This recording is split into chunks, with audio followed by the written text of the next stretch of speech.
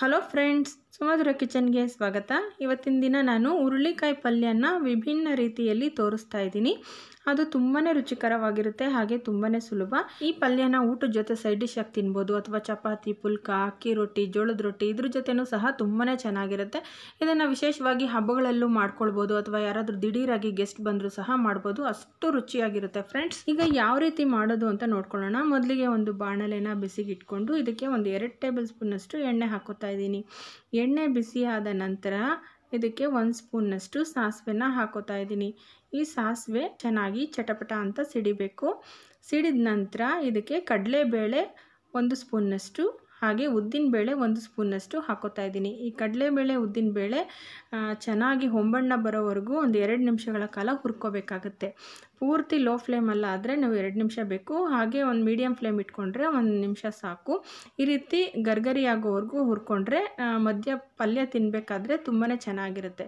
ಈಗ ನೋಡಿ ಒಂದು ಅರ್ಧ ಕೆ ಜಿ ಹುರುಳಿಕಾಯನ್ನು ನಾನು ಸೈಡಲ್ಲಿ ನಾರೆಲ್ಲ ತೆಗೆದು ಅದನ್ನು ಚೆನ್ನಾಗಿ ತೊಳೆದು ಈ ರೀತಿ ಚಿಕ್ಕದಾಗಿ ಕಟ್ ಮಾಡಿ ಇಟ್ಕೊಂಡಿದ್ದೀನಿ ಎಳೆದಾಗಿರೋ ಅಂಥ ಹುರುಳಿಕಾಯಿ ತೊಗೊಂಡ್ರೆ ತುಂಬಾ ರುಚಿಯಾಗಿರುತ್ತೆ. ಸ್ವಲ್ಪ ಬಲ್ತಿತ್ತು ಅಂತಂದರೆ ಅದರಲ್ಲಿ ಬೀಜ ಇರುತ್ತೆ. ಹುರ್ಳಿಕಾಯಿ ತಿನ್ನೋದಕ್ಕೆ ಅಷ್ಟು ಚೆನ್ನಾಗಿರಲ್ಲ, ನಾರು ನಾರು ಸಿಗುತ್ತೆ. ಹಾಗಾಗಿ ಎಳೆಯದಾಗಿರೋವಂಥ ಹುರುಳಿಕಾಯಿನ ತೊಗೊಳ್ಳಿ. ಈಗ ಸ್ವಲ್ಪ ಕರಿಬೇವಿನ ಸೊಪ್ಪನ್ನು ಸಹ ಸೇರಿಸ್ಕೊತಾ ಇದ್ದೀನಿ. ಹಾಗೆ ಅರಿಶಿಣದ ಪುಡಿ ಒಂದು ಕಾಲು ಟೇಬಲ್ ಸ್ಪೂನ್ನಷ್ಟು ಇಷ್ಟನ್ನು ಹಾಕ್ಕೊಂಡು ಒಂದು ಎರಡರಿಂದ ಮೂರು ನಿಮಿಷಗಳ ಕಾಲ ನಾವು ಮೀಡಿಯಮ್ ಉರಿಯಲ್ಲಿ ಫ್ರೈ ಮಾಡ್ಕೋಬೇಕಾಗತ್ತೆ.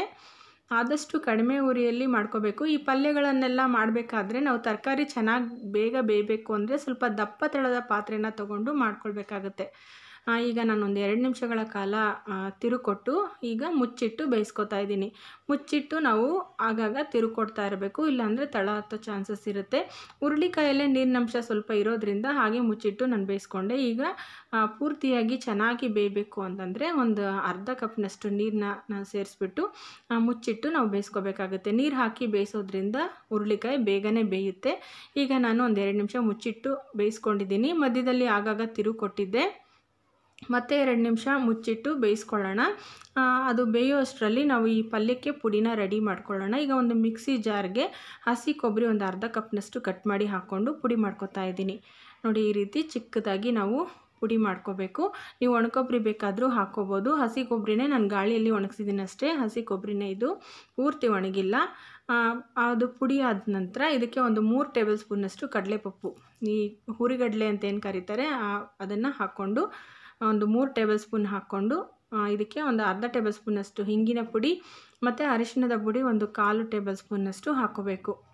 ಇವಿಷ್ಟನ್ನು ಹಾಕ್ಕೊಂಡು ಇದ್ರ ಜೊತೆಗೆ ರುಚಿಗೆ ತಕ್ಕಷ್ಟು ಉಪ್ಪು. ಈ ಪುಡಿಗೆ ಎಷ್ಟು ಬೇಕಾಗುತ್ತೋ ಅಷ್ಟನ್ನು ಮಾತ್ರ ಹಾಕೋತಾ ಇದ್ದೀನಿ. ಹಾಕ್ಕೊಂಡು ಈಗ ಇದನ್ನು ತರ್ತರಿಯಾಗಿ ಪುಡಿ ಮಾಡ್ಕೊಳ್ಬೇಕಾಗತ್ತೆ. ಈ ಪುಡಿಗೆ ನಾವು ಒಣಕೊಬ್ಬರಿನ ಹಾಕಿ ಪುಡಿ ಮಾಡಿ ಒಂದು ಏಟ್ ಏಟ್ ಬಾಕ್ಸ್ನಲ್ಲಿ ಹಾಕಿಟ್ಕೊಂಡ್ರೆ ನಾವು ಪಲ್ಯ ಮಾಡಿದಾಗೆಲ್ಲ ಈ ರೀತಿ ಪುಡಿನ ಹಾಕ್ಕೊಳ್ಬೋದು ತುಂಬ ಸುಲಭ ಆಗುತ್ತೆ. ಬೇರೆ ರೀತಿಯ ಪಲ್ಯಗಳಿಗೂ ಸಹ ಈ ಪುಡಿನ ಉಪಯೋಗಿಸ್ಬೋದು. ತುಂಬಾ ಚೆನ್ನಾಗಿರುತ್ತೆ.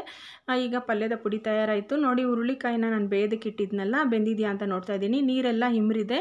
ಹಾಗೆ ಹುರುಳಿಕಾಯಿನ ಪ್ರೆಸ್ ಮಾಡಿದಾಗ ನೋಡಿ, ಚೆನ್ನಾಗಿ ಮೆತ್ತಗಾಗಿದೆ. ಇಷ್ಟು ಬೆಂದರೆ ಸಾಕು. ಹುರುಳಿಕಾಯಿ ಚೆನ್ನಾಗಿ ಬೆಂದಿದ್ದಾಗಿದೆ ಈಗ ನಾವು ಇದಕ್ಕೆ ಖಾರಕ್ಕೆ ತಕ್ಕಷ್ಟು ಅಚ್ಕಾರದ ಪುಡಿನ ಹಾಕ್ಕೊಳ್ಳೋಣ ನಾನೀಗ ಅರ್ಧ ಟೇಬಲ್ ಸ್ಪೂನಷ್ಟು ಅಚ್ಕಾರದ ಪುಡಿನ ಹಾಕೋತಾ ಇದ್ದೀನಿ. ಖಾರ ಜಾಸ್ತಿ ಬೇಕು ಅನ್ನೋರು ಇನ್ನೂ ಸ್ವಲ್ಪ ಜಾಸ್ತಿ ಹಾಕ್ಕೊಳ್ಬೋದು ಈ ಹಸಿ ವಾಸನೆ ಹೋಗಲಿ ಅನ್ನೋ ಕಾರಣಕ್ಕೆ ಒಂದು ನಿಮಿಷ ನಾವು ಹಾಗೆ ಫ್ರೈ ಮಾಡ್ಕೊಳ್ಬೇಕು. ಈಗ ಫ್ರೈ ಮಾಡ್ಕೊಂಡು ಇದಾಗಿದೆ. ಈಗ ನಾವು ಪಲ್ಯದ ಪುಡಿ ಏನು ಮಾಡ್ಕೊಂಡಿದ್ವಿ, ಆ ಪುಡಿನ ಹಾಕ್ಕೊಳ್ಳೋಣ ಪಲ್ಯದ ಪುಡಿ ಜಾಸ್ತಿ ಬೇಡ ಅಂದರೆ ಒಂದು ಎರಡು ಟೇಬಲ್ ಸ್ಪೂನ್ ಅಷ್ಟು ಹಾಕ್ಕೊಂಡ್ರು ಸಾಕು. ಅಥವಾ ಸ್ವಲ್ಪ ಚಪಾತಿಗೆ, ರೊಟ್ಟಿಗೆ ಎಲ್ಲ ತಿನ್ನೋದಕ್ಕೆ ಚೆನ್ನಾಗಿರುತ್ತೆ ಅನ್ನೋದಾದರೆ ಪೂರ್ತಿ ಪುಡಿನೂ ಹಾಕೋಬೋದು. ನಾನೀಗ ಪೂರ್ತಿ ಈಗ ಪಲ್ಯಕ್ಕೆ ಎಷ್ಟು ಬೇಕೋ ಅಷ್ಟು ಪೂರ್ತಿ ಮಾಡ್ಕೊಂಡಿದ್ದೀನಿ. ಸ್ವಲ್ಪ ಜಾಸ್ತಿನೇ ಇದೆ. ಆದರೂ ಈ ರೀತಿ ಮಾಡಿಕೊಂಡ್ರೆ ತುಂಬಾ ಚೆನ್ನಾಗಿರುತ್ತೆ. ಬೇಡ ಅನ್ನೋರು ಕಡಿಮೆ ಹಾಕ್ಕೊಳ್ಳಿ. ಈಗ ಇದನ್ನು ಒಂದು ಎರಡು ನಿಮಿಷ ಹಾಗೆ ತಿರುಕೊಡೋಣ ನೋಡಿ, ಇದು ಸ್ವಲ್ಪ ಡ್ರೈ ಆಗಬೇಕು. ಈಗ ನಾನು ಒಂದು ಎರಡು ನಿಮಿಷ ಚೆನ್ನಾಗಿ ಹುರ್ಕೊಂಡಿದ್ದೀನಿ. ಮತ್ತು ಇದರಲ್ಲಿ ಇರೋ ಉಪ್ಪು ಖಾರ ಅದೆಲ್ಲ ಚೆನ್ನಾಗಿ ಹುರುಳಿಕಾಯಿಗೆ ಹಿಡ್ಕೋಬೇಕಂದ್ರೆ ಸ್ವಲ್ಪ ನೀರು ಹಾಕಬೇಕು. ಒಂದು ಅರ್ಧ ಕಪ್ನಷ್ಟು ನೀರು ಹಾಕ್ಕೊಂಡಿದ್ದೀನಿ ನೀರು ಹಾಕ್ಕೊಂಡು ಇದನ್ನು ಚೆನ್ನಾಗಿ ನಾವು ಈಗ ಫ್ರೈ ಮಾಡ್ಕೋಬೇಕು. ಇದು ಮತ್ತು ಪೂರ್ತಿ ಡ್ರೈ ಆಗಬೇಕು. ಅಲ್ಲಿವರೆಗೂ ನಾವು ಫ್ರೈ ಮಾಡ್ಕೋಬೇಕು. ಈಗ ಒಂದು ಎರಡು ನಿಮಿಷಗಳ ಕಾಲ ಮುಚ್ಚಿಟ್ಟು ನಾನು ಬೇಯಿಸ್ಕೊತಾ ಇದ್ದೀನಿ. ನೋಡಿ ಮುಚ್ಚಿಟ್ಟಿದ್ದೆ. ಇನ್ನೂ ಸ್ವಲ್ಪ ಡ್ರೈ ಆಗಬೇಕು. ಹಾಗೆ ನಾವು ಒಂದು ಎರಡು ನಿಮಿಷ ತಿರುಕೊಟ್ರೆ ಅದು ಇನ್ನೂ ಡ್ರೈ ಆಗುತ್ತೆ. ಮತ್ತು ಆ ಕಡಲೆಪಪ್ಪು ಚೆನ್ನಾಗಿ ನಾವು ತಿರುಕೊಡೋದ್ರಿಂದ ಉಪ್ಪು, ಖಾರ ಎಲ್ಲ ಹುರುಳಿಕಾಯಿಗೆ ಚೆನ್ನಾಗಿ ಹಿಡ್ಕೊಳ್ಳುತ್ತೆ ಮತ್ತು ಕಡಲೆಪಪ್ಪಿನ ಹಸಿ ವಾಸನೆ ಹೋಗಬೇಕು. ಅಲ್ಲಿವರೆಗೂ ಹುರ್ಕೊಂಡ್ರೆ ತುಂಬಾ ರುಚಿಯಾಗಿರುತ್ತೆ ಪಲ್ಯ. ಈಗ ನಾನು ಎರಡರಿಂದ ಮೂರು ನಿಮಿಷಗಳ ಕಾಲ ತಿರುಕೊಟ್ಟಿದ್ದೀನಿ ನೋಡಿ, ಪಲ್ಯ ತಯಾರಾಗಿದೆ. ಇದು ಸ್ವಲ್ಪ ಬಿಸಿ ಆರಿದ ನಂತರ ಈ ಕಡಲೆಪಪ್ಪು ಆಗಿರೋದ್ರಿಂದ ಆ ನೀರಿನಂಶ ಎಲ್ಲ ಹೀರಿಸ್ಕೊಂಡು ಇನ್ನೂ ಉದುರುದ್ರಾಗುತ್ತೆ ಈಗ ಸ್ಟವ್ ಆಫ್ ಮಾಡ್ಕೋತಾ ಇದ್ದೀನಿ. ಈಗ ಒಂದು ಸರ್ವಿಂಗ್ ಪ್ಲೇಟ್ಗೆ ಹಾಕೋತಾ ಇದ್ದೀನಿ. ನಾನು ಮೊಸರನ್ನ ಜೊತೆ ಸರ್ವ್ ಮಾಡ್ತಾ ಇದ್ದೀನಿ. ಊಟದ ಜೊತೆ ಸೈಡ್ ಡಿಶ್ ಆಗಿ ಬೇಕಿದ್ದರೂ ಸರ್ವ್ ಮಾಡ್ಬೋದು. ತುಂಬಾ ಚೆನ್ನಾಗಿರುತ್ತೆ ಫ್ರೆಂಡ್ಸ್ ಯಾವಾಗಲೂ ಒಂದೇ ರೀತಿಯ ಪಲ್ಯಗಳನ್ನು ತಿಂದು ತಿಂದು ಬೇಜಾರಾದಾಗ ಈ ರೀತಿ ಡಿಫ್ರೆಂಟಾಗಿ ಮಾಡಿಕೊಡಿ. ಎಲ್ಲರೂ ಇಷ್ಟಪಟ್ಟು ತಿಂತಾರೆ. ಚಪಾತಿ ಜೊತೆನೂ ತುಂಬಾ ಚೆನ್ನಾಗಿರುತ್ತೆ. ಒಂದ್ಸರಿ ಟ್ರೈ ಮಾಡಿ ನೋಡಿ.